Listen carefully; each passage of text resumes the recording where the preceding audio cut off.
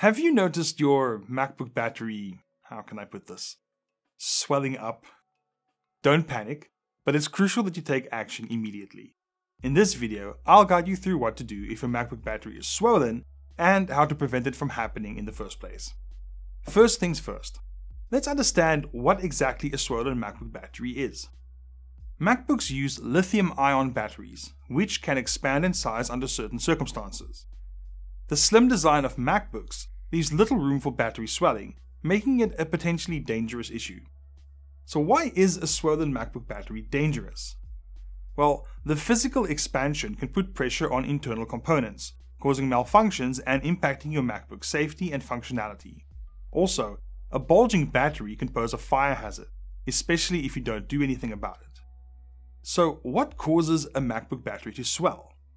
Age, manufacturing defects, high temperatures, and overcharging are common culprits. Exposure to moisture or other environmental factors can also contribute to the problem. It's important that you're aware of these factors and take action if you suspect your battery is swelling. Diagnosing a swollen MacBook battery is relatively straightforward. Look for physical changes like bulging or warping on the bottom or sides of your MacBook. Check if the trackpad or keyboard become unresponsive or difficult to use. You can also use Apple's battery health tool or run diagnostics to confirm your suspicions. But can you fix a swollen MacBook battery yourself? In most cases, I wouldn't recommend this. Trying to fix it yourself can be dangerous and may cause further damage. Apple MacBooks are not designed to be user serviceable in general. Instead, you should rely on a professional who has the expertise and tools to safely replace the battery. If you discover a swollen MacBook battery, here's what you should do. First, stop using your MacBook immediately. Turn it off, unplug it, and disconnect any accessories. Handle the MacBook with care. Avoid putting pressure on the swollen battery. Contact a professional repair service and make an appointment.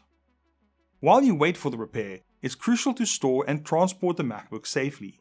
Keep it in a cool and dry place away from direct sunlight or heat. This will help prevent any potential accidents. Now let's talk about preventing MacBook battery swelling in the first place. Proper storage, avoiding extreme temperatures, and using the right charger and not overcharging your MacBook are all very important. Modern Macs running the latest macOS will automatically limit your charge if the laptop is always plugged in, so at least overcharging isn't something you have to worry about anymore. If your MacBook battery is swollen, remember that safety should be your top priority.